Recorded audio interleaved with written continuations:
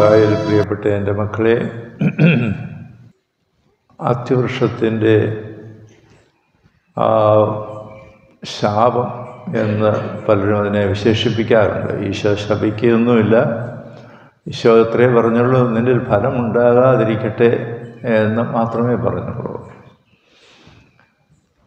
അത്യവൃക്ഷത്തെ ആ രീതിയിൽ ആ ഫലമില്ലാത്ത ഒന്നാക്കി മാറ്റുന്ന മാറ്റിയത് എന്തുകൊണ്ടാണ്? ഒരു ഫലവും പുറപ്പെടുവിക്കാതിരുന്നത് കൊണ്ടാണ് ഇത് ഒരു ഉപമയാണെന്നാണ് പൊതുവെ പറയപ്പെടുന്നത്. എ പാരബിൾ ഇൻ ആക്ഷൻ പ്രവൃത്തിയിലൂടെയുള്ള ഒരു ഉപമ. ഈശോ ഉപമ സംസാരത്തിലൂടെ ഉപമ പറയുന്നിട്ടുണ്ട് ധാരാളം ഉപമകൾ പറഞ്ഞിട്ടുണ്ട്. പക്ഷേ പ്രവൃത്തിയിലൂടെയും ഈശോ ഉപമ സംസാരിച്ചിട്ടുണ്ട്.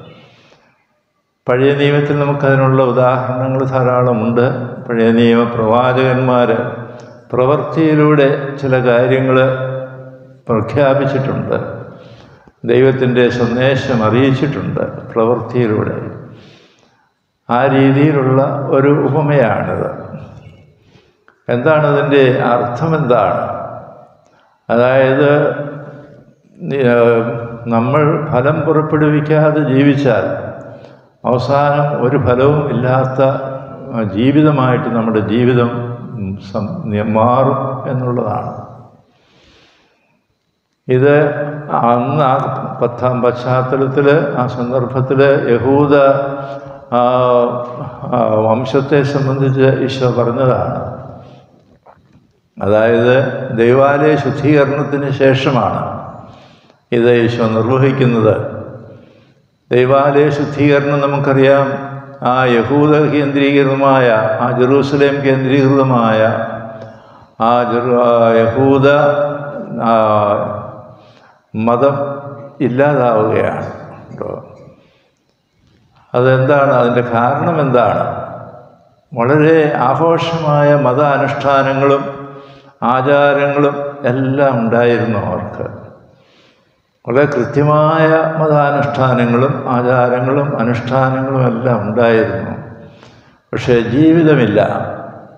ആ ദൈവം ആഗ്രഹിക്കുന്ന വിധത്തിലുള്ള ജീവിതമില്ലാതെ പോയി എന്നാണ്. അത് നമ്മുടെ ഇടയിലും സംഭവിക്കാം. എന്താണ് സഭയിലും നമുക്കത് സംഭവിക്കാം. പുതിയ നിയമ ദൈവജനത്തിനും അത് സംഭവിക്കാം. പഴയ നിയമ ദൈവജനത്തെ ദൈവം തള്ളിക്കളഞ്ഞു. കാരണം അത് ഫലം പുറപ്പെടുവിക്കാതെ പോയി. ആ സ്ഥാനത്താണ് പുതിയ നിയമ ദൈവജനത്തെ സ്ഥാപിച്ചത്. അതും ഇത് കണ്ടു പഠിക്കണം. ഇത് വലിയൊരു പാഠമാണ്. ശരിക്കും ഫലം പുറപ്പെടുവിക്കാതെ പോയാൽ നമ്മളുടെ ആ ജീവിതം അർത്ഥശൂന്യമായി തീരും എന്നുള്ളതാണ്. എന്താണ് അതിന്റെ അർത്ഥം. പ്രവൃത്തിയില്ലാത്ത വിശ്വാസം നിർജീവമാണ് യാക്കോബ് ശ്രീഹ പറയുന്ന ഒരു വാചകമാണ് കേട്ടോ പ്രവൃത്തിയില്ലാത്ത വിശ്വാസം നിർജീവമാണ് പ്രവൃത്തികൾ ഉണ്ടാവണം. വിശ്വാസത്തിനനുസൃതമായ സൽപ്രവൃത്തികൾ ഉണ്ടാവണം. സൽപ്രവൃത്തികളാണ് ഫലം പുറപ്പെടുന്നു പറയുന്നത് പറയുന്നത്. അതുകൊണ്ട് ആ പ്രവൃത്തികളില്ലാതെ പോയി യഹൂദർക്ക് ആഘോഷമായ ആചാരങ്ങളും അനുഷ്ഠാനങ്ങളും മതപരമായ കർമ്മങ്ങളും ദൈവാലയ കർമ്മങ്ങളുമൊക്കെ ഉണ്ടായിരുന്നു അവർക്ക്.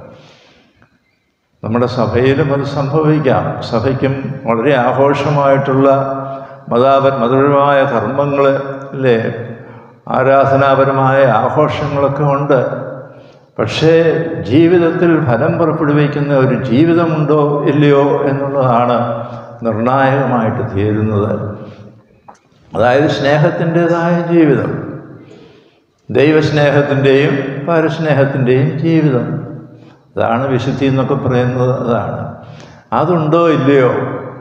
അതാണ് മാനദണ്ഡം. ദൈവം ആ ദൈവജനത്തെ ഉടമ്പടി ചെയ്ത് ദൈവജനത്തിന് രൂപം കൊടുത്തതിന്റെ ലക്ഷ്യം എന്താണ്? ആ സ്നേഹത്തിന്റെ ഭരണം ദൈവരാജ്യം ദൈവത്തിന്റെ ഭരണം ദൈവസ്നേഹത്തിന്റെ ഭരണം ഈ ലോകം മുഴുവനും യാഥാർത്ഥ്യമായിട്ട് തീരണമെന്നുള്ളതാണ്. അത് മന മനുഷ്യകുലത്തിന്റെ മുഴുവനും വിളിയാണ്. ദൈവത്തിന്റെ ഹിതം എന്ന് പറയുന്നത് മനുഷ്യകുലം മുഴുവനും ഈ ദൈവരാജ്യത്തിന്റെ സുവിശേഷം ജീവിക്കുന്ന ഒരു സമൂഹമായിട്ട് മാറണം. അതിനുള്ള ഒരു മാധ്യമമാണ് അതിന്റെ കൂതാശയാണ് സഭ എന്ന് പറയുന്നത്. അപ്പോൾ സഭ അത് ജീവിക്കുന്നില്ലെങ്കിൽ ദൈവത്തിന്റെ രക്ഷാകര പദ്ധതി ശൂന്യമായിട്ട് തീരും. അത് ഫലം പുറപ്പെടുവിക്കാത്തതായിട്ട് തീരും. ഇതാണ് അവിടെ സംഭവിച്ചത്. പഴയ നിയമ ദൈവജനം ആ ഫലം പുറപ്പെടുവിക്കാത്ത ഒരു ജനമായി മാറി. പുതിയ നിയമ ദൈവജനത്തിന് ദൈവം രൂപം കൊടുത്തു ഈശോയിലൂടെ. ആ ദൈവജനം ആ പഴയ നിയമ ദൈവജനത്തെ പോലെ ആവരുത്. അത് ശരിക്കും ഫലം പുറപ്പെടുവിക്കുന്ന ആ ഒരു വൃക്ഷമായിട്ട് മാറണം. എന്ന് ഉള്ള ഒരു വലിയ സന്ദേശമാണ് ഇതിലൂടെ കർത്താവ് തരുന്നത്.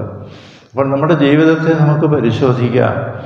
നമ്മുടെ ജീവിതം ഫലം പുറപ്പെടുവിക്കുന്ന ഒരു ജീവിതമാണോ? നമ്മുടെ വിശ്വാസത്തിനനുസൃതമായ ഫലങ്ങൾ വിശ്വാസം എന്ന് പറയുന്നത് നമുക്കറിയാം ഒരു സ്നേഹബന്ധമാണ്. ദൈവത്തോടും ദൈവം തരുന്നവരോടുമുള്ള ഒരു സ്നേഹബന്ധമാണ്. അതാണ് വിശ്വാസം എന്ന് പറയുന്നത്. വിശ്വാസം വെറും ബൗദ്ധിക തലത്തിലുള്ള ഒരു ഒരു ഒരു ബോധ്യം അല്ല. അതുകൊണ്ട് പക്ഷേ അത് പ്രവൃത്തിയിലേക്ക് ജീവിതത്തിലേക്ക് കിടക്കണം. ആ ബന്ധം അതിന്റെ പൂർണതയിൽ ജീവിക്കുന്ന ഒരു ജീവിതം അതാണ് നമ്മൾ ഇന്നും പ്രതീക്ഷിക്കുന്നത്. അത് നമുക്ക് പരിശോധിച്ച് നോക്കണം. പ്രത്യേകിച്ച് നമ്മൾക്ക് ഈ ധ്യാന ദിവസങ്ങൾ അതിനുള്ള ഒരു അവസരം കൂടിയാണ്. ധ്യാനം എന്ന് പറയുന്നത് ജീവിതത്തിന് വേണ്ടിയിട്ടുള്ള ഒരു ഒരുക്കത്തിന്റെ ദിവസങ്ങളാണ്. അതുകൊണ്ട് ആ രീതിയിൽ നമ്മൾ ഈ ഫലം പുറപ്പെടുവിക്കുന്ന വൃക്ഷങ്ങളാണോ നമ്മൾ ഫലം പുറപ്പെടുവിക്കുന്ന ഒരു ജീവിതമാണോ നമ്മൾ നയിക്കുന്നത്? ശരിക്കും സ്നേഹത്തിന്റെ ഫലങ്ങൾ വിശുദ്ധിയുടെ ഫലങ്ങൾ പുറപ്പെടുവിക്കുന്ന ഒരു ജീവിതമാണോ നമ്മൾ നയിക്കുന്നത് എന്ന് നമുക്ക് ആത്മപരിശോധന ചെയ്യാനുള്ള അവസരമാണ്. ആ ഒരു രീതിയിൽ നമുക്ക് ആത്മപരിശോധന ചെയ്ത് ആ കുറവുകളെല്ലാം നികത്തിക്കൊണ്ട് ശരിക്കും ഫലം പുറപ്പെടുവിക്കുന്ന ഒരു ജീവിതമാണ് നമ്മൾ നയിക്കുന്നത് എന്ന് ഉറപ്പുവരുത്തുവാനായിട്ട് നമുക്ക് ആത്മാർത്ഥമായിട്ട് പരിശ്രമിക്കാം. അതിനുള്ള കൃപയ്ക്കായി നമുക്കിന്ന് പ്രത്യേകമായിട്ട് പ്രാർത്ഥിക്കാം.